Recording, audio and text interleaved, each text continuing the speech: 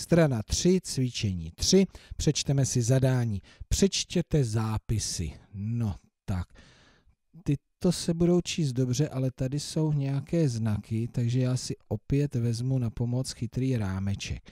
Tak obou strana šipka, obou strana, aha, tady, takže to je přímka, přímka KL, pozor, ne přímka KL, přímka KL, jako kdybyste říkali abecedu.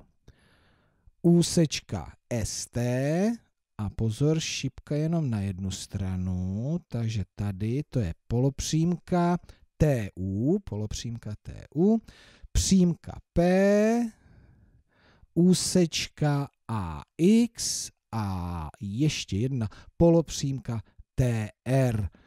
Bezvadný, tak myslím si, že jsme zvládli čtení všech zápisů. Ještě si připomeneme, tohle je přímka a tady polopřímka a jiný znak jsme tady neměli.